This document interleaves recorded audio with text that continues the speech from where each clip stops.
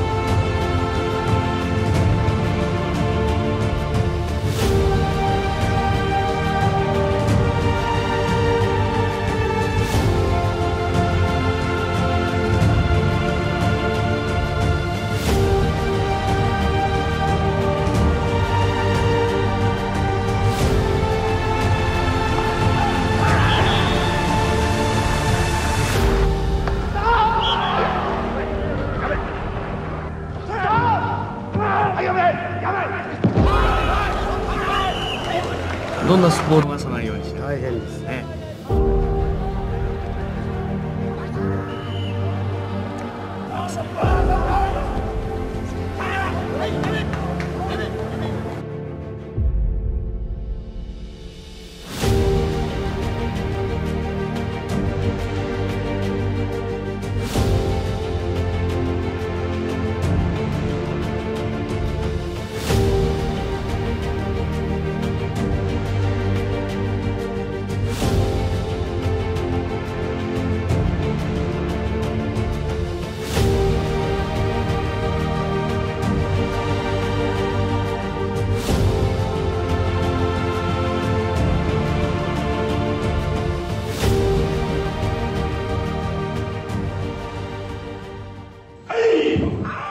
When Japan's so-called economic bubble burst at the start of the 1990s, most businesses were hit hard. International Security Service, a private bodyguard agency for VIPs, was one of the few exceptions.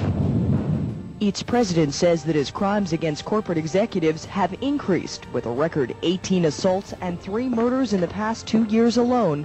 The demand for his services has also grown.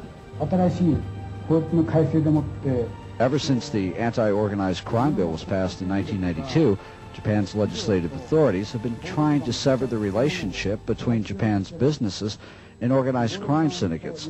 The authorities are preventing these syndicates from collecting extortion money. Security service clients include automobile executives, court witnesses, attorneys, and government officials.